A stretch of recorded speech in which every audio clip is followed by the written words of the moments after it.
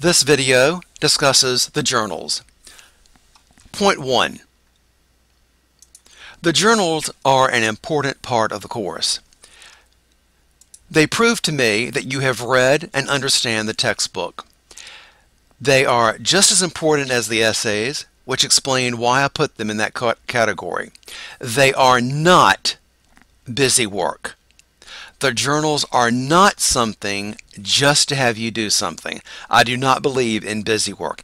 Everything that I'm asking you to do in this course has an objective and has a value.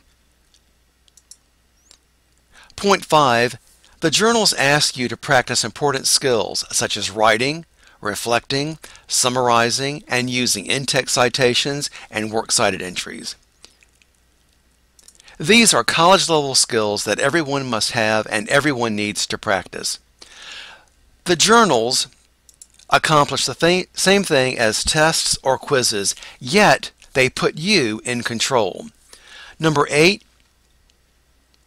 unlike tests or quizzes, you have to memorize or guess what I'm going to ask. With journals, you do not. The journals do require time, and I know that you have busy schedules and other obligations. I realize that your lives do not revolve around this class, but you have to pace yourselves. I would do one chapter a week for a 16 week class, two chapters a week for an 8 week class.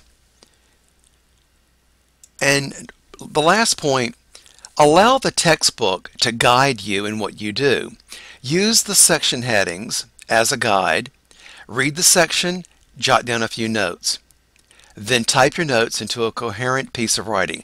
I do not expect you to rewrite the textbook. I do not want you to rewrite the textbook. I want you to read the textbook, read the chapters, and tell me what you have learned. I hope that helps understand the purpose of the journals.